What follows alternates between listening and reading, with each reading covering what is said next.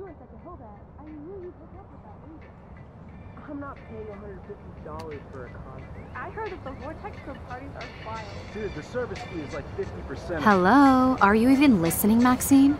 All my friends in LA told me that Oregon was Max. gonna wet and cold every day.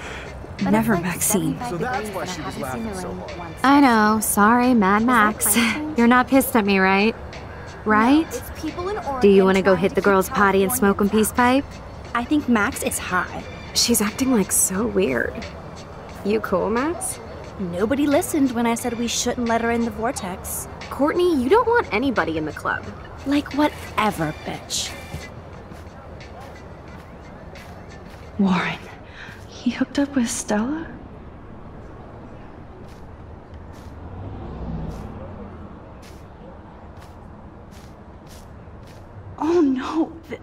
This is totally fucked up. What else have I changed? Chloe.